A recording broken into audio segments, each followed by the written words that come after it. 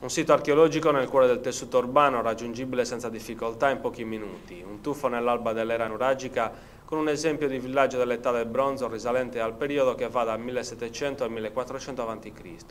un unicum che non ha uguali al momento in Sardegna e che mostra come nacque e iniziò a svilupparsi la civiltà nuragica. È il sito archeologico di Tancamanna a Nuoro che il Comune, attraverso l'assessorato all'ambiente e in collaborazione con la sovrintendenza di Nuoro e Sassari, le università di Bologna e Sassari, sta riportando alla luce, proseguendo il lavoro iniziato negli scavi del 1963 e del 2005, un villaggio che si sviluppa attorno a Nuraghe. Gli scavi sono stati preceduti da una mappatura in 3D dell'area che ha consentito di scoprire alcune particolarità del sito e di pianificare le campagne di scavi.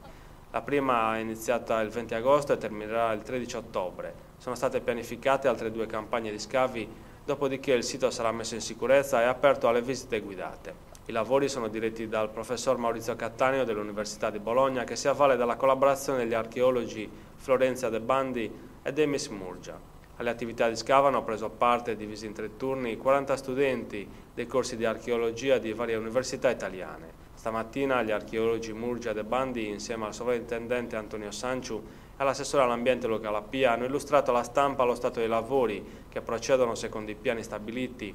ma anche le particolarità del sito di Tancamanna che ne fanno uno dei più interessanti relativamente all'età nuragica. Parallelamente alla campagna di scavi che ha consentito di trovare diversi utensili come vasellame, piastre per la cottura, fusaiole per filare, verrà affiancata una serie di studi paralleli sulle coltivazioni e sul tipo di allevamento effettuato che potranno fornire notizie utili su questi nuoresi di quasi 4.000 anni fa. Il Comune di Nuora, sottolineato l'assessore Lappia, crede pienamente nel progetto di valorizzazione del sito di Tancamanna e sta dando tutto l'appoggio possibile per completare i lavori, anche se serve un ulteriore sforzo, magari con l'intervento della Regione. L'assessore Lappia ha anche ricordato che il Comune ha lanciato il concorso idee denominato BISU per dare una strutturazione futura a tutta l'area di Tancamanna.